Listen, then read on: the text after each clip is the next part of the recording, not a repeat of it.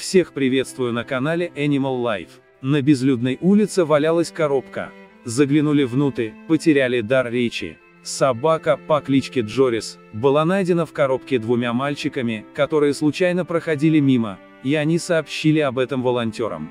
Ее немедленно доставили к ветеринару и проверили на наличие проблем со здоровьем. Ветеринар сказал, что собаке не более 8 месяцев, и по ее физическому состоянию определил, что малышка имеет истощение и очень запугана.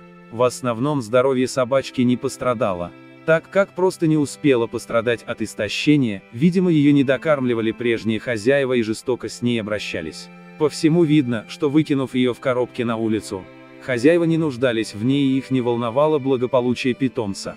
Собачке сразу нашелся приемный воспитатель, который своей лаской и заботой к ней дал понять, что она находится в безопасности и что для нее началась новая, счастливая жизнь. Как только собака это поняла, все ее поведение изменилось, как и выражение ее глаз, она стала вилять хвостиком, стала давать себя гладить, и стала счастлива тем, что к ней начали относиться со всей любовью и вниманием, и наслаждалась каждой минутой этого. У приемных родителей есть свой большой двор, который ведет к реке. Джорис пока с опаской посещает пляж, так как побаивается заходить в воду. Однако, с удовольствием носится и играется во дворе со своими любимыми людьми.